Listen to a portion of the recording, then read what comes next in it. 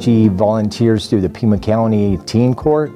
Uh, she began as a juror. She did the first year as a juror and then uh, picked up on the attorney part of it and has advanced on to being an attorney for the Pima County Teen Court. She's uh, contributed uh, about 300 hours of volunteer work so far and counting. It's something that she's still involved in. You know, every other Saturday they have cases and she also uh, participates in the Sandra Day O'Connor uh, Institute. Uh, she uh, participates in, in the Ambassador Program, which is a program that promotes community service and uh, public discourse, discussion of important matters, and, and, and I think that that's a big deal because that's what we need.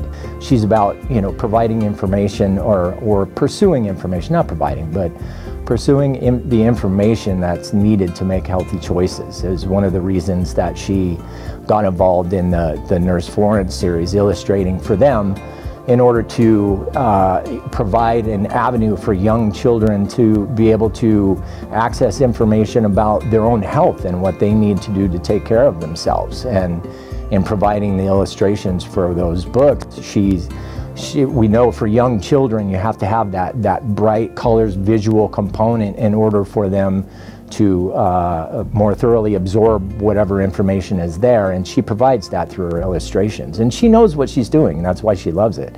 She knows that she's doing that on purpose in order to teach young children the things that they are going to need to help them take care of themselves when they get older